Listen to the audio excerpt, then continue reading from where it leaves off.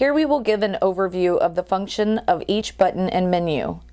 In the second part, we will describe each menu and setting procedure in detail. Before installing your automatic flushing device, it is highly recommended that you flush the water line free of debris before attaching the unit.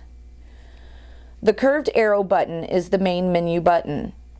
This will allow you to maneuver from one menu to the next. The right and left arrow button will allow you to maneuver between each section within a current viewed menu. The plus and minus button will allow you to change the setting within each section of the current viewed menu. Each controller has an automatic sleep mode. To wake up the controller, you will push the main menu button. In order to move through the menus easier, you may want to start at the home menu that shows the current time, day number, and battery life. You will press the main menu button to move to the next menu. The second menu allows you to set the current time and day of the week. To maneuver through any menu, you will use the right and left arrow keys. To change a setting within the menu, you will use the plus and minus keys. Again, to maneuver from one menu to the next, you will use the main menu button. The third menu allows you to set the flushing start times. You will have the option to flush up to nine times per day.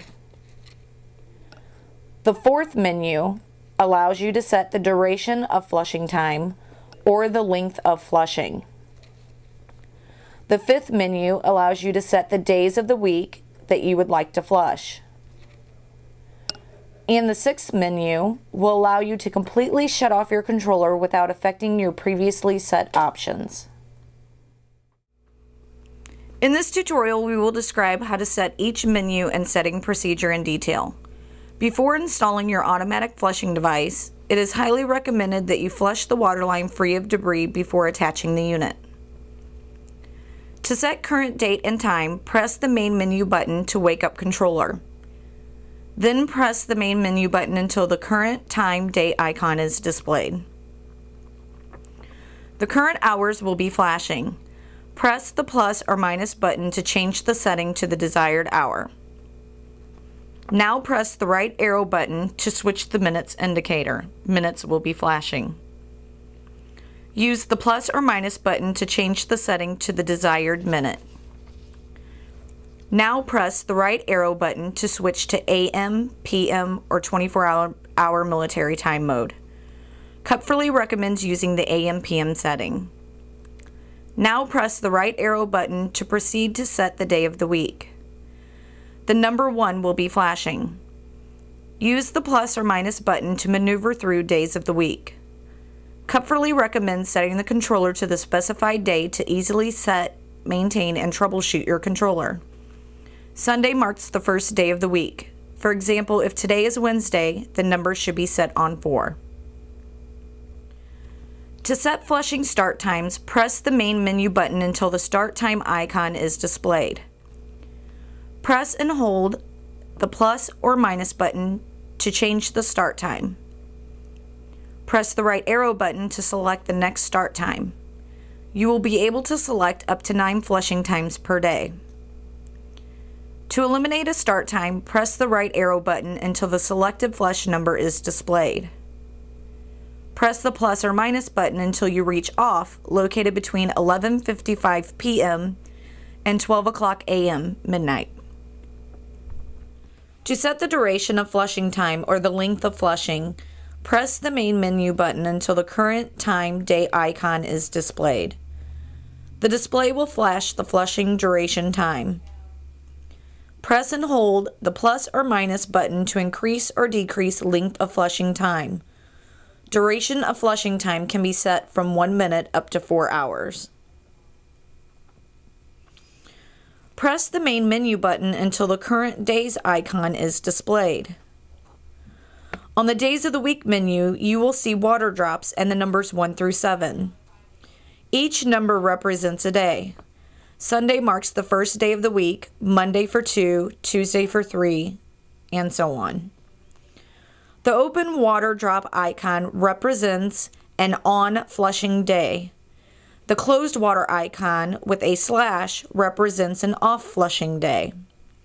Press the minus button to cancel flushing on that day, or plus to allow flushing on that day. When pressing the minus or the plus button, the cursor will automatically move to the next day, or you can press the right arrow key to advance to the next day. Repeat step 2 until all desired days for flushing have been selected. All of your changes will be automatically saved. Press the main menu button twice to end at the home menu. Allow your controller to sleep on this menu only. Controller shut off mode. The last menu will allow you to completely shut off your controller without affecting your previously set options. However, please remember this is a shut off mode. If you allow your controller to go to the off mode or fall asleep at this menu, the controller will shut down and will not run your set program. This menu is available for any period of time where flushing has to be stopped over a long period of time. The unit can be shut down without losing any settings. When on the shutoff menu, after waiting a few seconds, you will see the words off flash.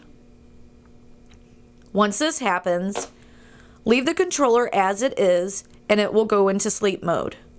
The controller will have to sleep within this menu to be successful in shutting down. When flushing is ready to resume, the controller will need to wake up. You can wake up the controller by pressing the main menu button. Let the controller fall asleep on the home menu and your previously scheduled program will resume.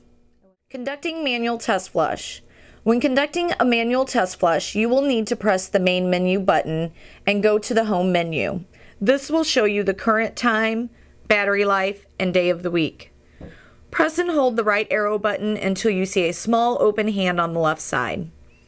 Once you see the hand, release the button and the controller will count down 10 seconds until the test flush begins.